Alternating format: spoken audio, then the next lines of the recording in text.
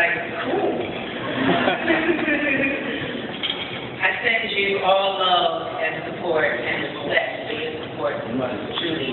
When you enter this room, your support is so genuine and so true. And I can't even begin to explain exactly what your support does.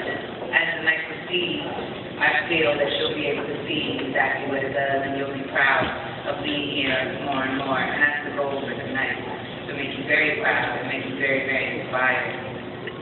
I definitely want to take a moment to remember why we're all here, and that's because 14.2 million children have lost their parents to AIDS in Africa alone. And if you could just imagine your children, you could imagine yourself as a child with no one to help you, no one to guide you, that person that you wait to lay your head on their shoulder and they're not there. And that's the thing that I think about, and that's what I recall when I see these children and when I'm a part of their life, you know. I think about how they need someone to love them and care for them. A child dies every other minute from an AIDS-related illness, every other minute that we're sitting in this room.